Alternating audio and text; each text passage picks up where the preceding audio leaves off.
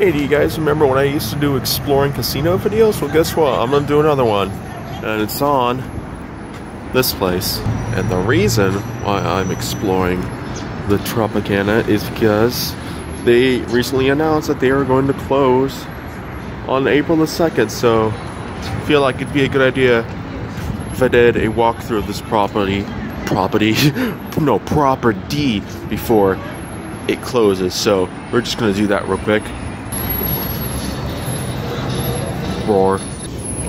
Oh man, that's a nice sound to hear, isn't it, huh? So this place opened back in the 1950s, and I believe it's one of the oldest casinos on the strip. And uh, as you can tell, it is fortunately not in the best shape. so the corner of like the outside of this property has like a pretty weird looking lawn area. It used to have way more trees back in the day, but unfortunately, it looks like they've been letting it go. But there's probably no point even keeping up this place because you know they're going to close it soon. And then there's the valet area. So across the street from this place, you got the MGM Grand, New York, New York, and the Excalibur. And just to show how long it's been since they've like, like cleaned this place up or like did anything with it. Look how faded this this this whatever this is is. wow. Got this weird like man-made rock formation. I think there was probably like water here at some point or something, and then here's like a like a little kiosk. Cut down palm trees. There used to be like a neon waterfall going down from like the top all the way to the bottom of this tower, but in 2010 they did like a renovation and they removed the whole thing. Actually, I just now realized you can see where the bulbs were for the waterfall. Right over here. All those like little holes. That was where like the neon and the bulbs were supposed to be for the waterfall, the neon waterfall. They just never got rid of it for some reason. Also, they have Purple Rain and MJ Live. And again, the reason why I'm going to be doing a video on the Tropicana is they're going to be closing on April 2nd and will be demolished for a baseball stadium apparently for the A's. That's our new team apparently. I'm on the pedestrian bridge that goes to the MGM Grand. We're gonna enter through this entrance. Oh yeah, they also have the Laugh Factory. Uh, they're pretty popular, I guess. Let's get it started and how let's get it started in here. So this place is currently owned by Bally. Yes, the same people that brought you Bally's. Though they're now it's the Horseshoe, and it's owned by Caesars. Anyways, let's just go through here. Oh my gosh, infinite money! Whoa! Filming in progress. Attention, you are entering a filming area. Yeah, because I'm filming. okay, you got Red Lotus, the Asian Kitchen, and Robert Irvine's, which is, I guess, their like signature restaurant or something. I've never had it before, but it could be good. I don't know, or not, maybe. Then this is where you would enter from the valet area, and then you might notice there's actually like a really cool like stained glass ceiling that they've had since the 80s. It's actually really cool looking. And also, we got a gift shop right here. Do people still buy like postcards and stuff? Oh, this is all glittery. Uh, uh. Oh, okay. I was expecting to have like a bunch of glitter on my hand. Oh, uh oh. Get it off! Get it off! This place actually smells really good. It gives me like Mirage vibes, kinda. Mmm. Here is some more of that stained glass ceiling. I don't know what they're gonna do with it when they close, but I hope they keep like a little chunk of it or something. Because this is actually really cool looking. Nice. You got this casino area. It's actually kind of quiet in here. I like that. I like quiet places. Yes. I saw this area in a liminal space subreddit once. I wonder what this used to be. Hmm. Yeah, I wonder what this spot used to be. Maybe like a ballroom or something. I don't know. Pretty spoopy. I like this like big whatever this is. What are these? Are these supposed to be like bamboo shoots or something? It actually looks kind of cool. They're all like tied up and stuff. It's pretty nice. Ooh. It's very, um, I don't know how to describe this. Cool, I guess. Pretty modern. I Found out what this used to be. This was the Havana room. I still don't know what that is. Very minimalistic lobby area. Very minimalistic. This place is called Chilim. Chilim. Bar and frozen cocktails. Awesome. Chilim. It's time to sip, savor, and smile. Lavazza. Okay, so I know this is like a really old casino and stuff. But like, this ceiling is a bit too low for me. Oh, hello. They have a Lavazza coffee shop. And apparently, it's also called Trop Coffee. Noise. And again, why is the ceiling so low? This is probably like an extremely old part of the casino because I know most of the old casinos back in the day did not have like very, very, very high ceilings like nowadays. So this is a bit, a bit claustrophobic for anyone that has like that phobia. Also, what happened here? They got this big part of the casino where you can like sign up for their rewards club. I think it's called just Tropicana Rewards. And yeah, it's very empty. Anyways, I'm just gonna go up here. And here is a view from the upstairs area of the casino.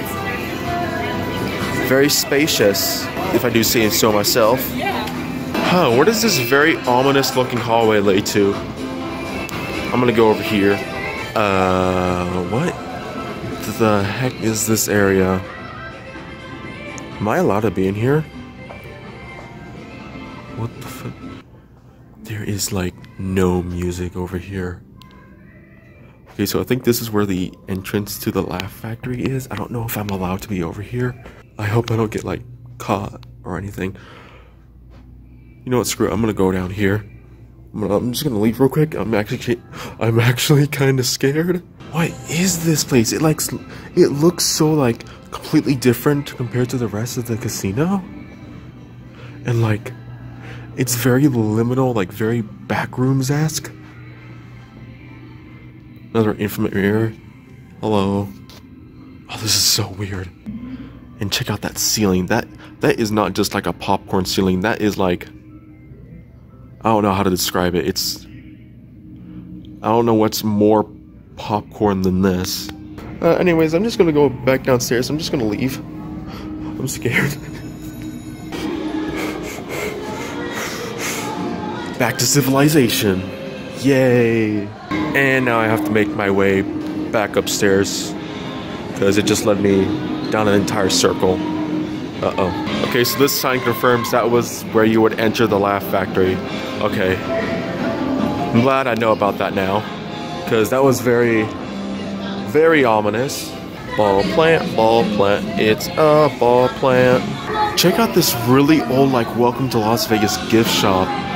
It's very, like, 90s slash early 2000s, and it's all like like boarded up and stuff. That is weird. I think I've seen this place open before, but it's been like such a long time since I've entered this place, so I don't know. There's me again. Hi. So you got like two restaurants over here. This is Bacio, and there's no chairs. Then over here is I don't know. okay, so this is Oakville, the steakhouse. I wonder if this was good back in the day. I don't know. Maybe, maybe not. Then over here, there's like this bridge that goes to the other side of the property. And if you look over here, here's their pool area. Okay, maybe this isn't the best view, but look, there's a waterfall and a bridge. Nice. So, from doing my research, uh, apparently, like way back in the 80s and 90s, this was like a a bird exhibit and there'd be like birds and like parrots and stuff in these like sky bridge or something. I wonder what that was like. That must have been really cool. I like this area. But nowadays it's all just like weird shops and stuff. Also, this pool area used to be called the Island of Las Vegas, if I remember correctly. I might be wrong on that, but this was like one of the pools to be in back in the day back in the vintage Las Vegas times. Nowadays, it's uh, I mean, pretty average, I guess now. Holy crap, they turned the Luxor into a Dorito. World's largest Dorito. Another part of the pool. It's closed for the season, and that's probably closed forever now. Rest in peace. You got a charging station for all your charging needs. You know, like some tables to look out into the pool area and also other hotels and casinos and stuff. Then down over here, there's like a conference center for all your conference e needs. And also a little spa called Glow, a spa. You also have this like little seating area, which is actually pretty rare in casinos because if it's not if it's not a race and sports book, then you cannot sit ever. If I remember correctly, they recently made it so that you couldn't like have legitimate grass and like lawns and stuff. They had to make it so that you can only use like turf and stuff because you know like droughts, like water usage and stuff. So everyone's just been converting to turfs. Over here, this is their island wedding chapel. You could have weddings here at one point. That's pretty awesome, I guess. I wonder what the last wedding here is going to be like. If there will be one. Another really quiet area. It's so quiet in here. What's this area? Oh, the Trinidad Pavilion and meeting rooms. Let's go over there. Okay, I think there's actually something going on in there, so I'm not gonna go over there. I love whispering. What is this? Is this their coffee shop? Another coffee shop. Okay, so this is the Barista Cafe. And it is very closed. Hmm, some pretty exquisite works of art. Very exquisite. MJ Live, just in case Michael Jackson won at the Mandalay Bay wasn't good enough for you. Hmm, some more exquisite works of art. Very nice, very modern. So the Tropicana has two hotel towers. This one is the. Hold on, let me just look at the sign real quick. Uh. Uh. Club Tower. Okay. And then the one that's over there, that's the Paradise Tower, I think. So I've been in this like casino for like I think half an hour now, and all I've been hearing was like people talking about them how they're going to like demolish this casino for that ballpark. That is actually going to kind of suck, because like ballparks cause like a lot of traffic within the casino. That's like one of the biggest complaints I've been hearing about them tearing this down. And this is also like a very historic casino. Uh, like I said in the beginning, this casino opened back in the 1950s. So it's literally one of the oldest casinos in Las Vegas. The others, I think, are the Sahara the, and the Flamingo. Uh, probably forgot something else, but I don't know. I mean, Circus Circus and Caesar's Palace, those are also really old, but those aren't from the 50s. Those are both from the 60s. So these hotel rooms with the balconies, these are like the oldest hotel rooms on the Tropicana. The only other hotel on the strip that has balconies is the Cosmopolitan, and that's like a much newer hotel, which is surprising. I think the Horseshoe, one of the Horseshoe Towers, I think it's the Jubilee Tower, that one's gonna have balconies soon. But that's a part of Paris now. Now it's called the Versailles Tower, if that's how you pronounce it correctly. Versailles. So yeah, we're finally gonna have a hotel, another hotel with balconies. But that's like a for like a very specific set of rooms too, so it doesn't even matter anyways. Anyways, then there's Oyo. That used to be called the Hooters. I should probably do a video on that soon. Going back into the casino, yeah. Then over here you got your high limit lounge, table games and slots and stuff. Pretty cool. And then over here, this is the Trago Lounge. The Trago. The Trago Lounge. Sounds like Drago. Dragon. Roar.